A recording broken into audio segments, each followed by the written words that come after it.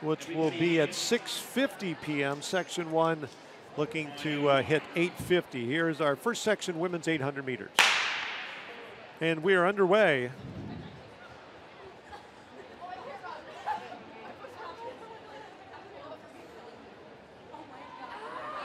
And anyone who's been to a banked indoor facility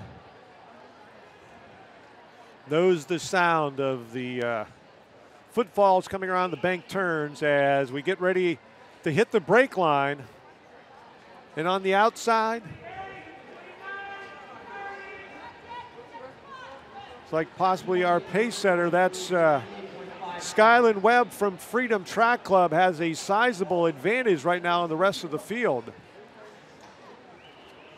She's up by a solid 15 meters through 300. We'll get her 400 meter split as the field starts to close. Webb, a seat time of 203. She's 58 high at the 400. Not looking back. Michaela Page running unattached, currently in second place, leading that chase pack. But it is Skyland Webb still up by 15, maybe a little more. 300 meters to go in this women's 800, the hot heat at the John Thomas Terrier Classic.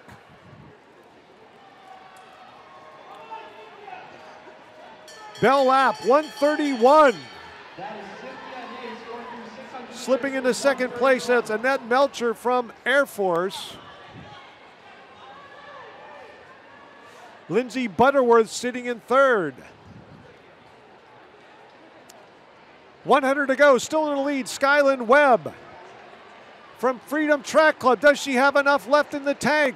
She took it out hard, under 60 seconds for the opening 400. Webb to the line, here comes Butterworth, won't get her. 202.41. Uh, actually, that's Cynthia Anais. And it's Bouchard from Sherbrooke, 202.69. The top three all under 203.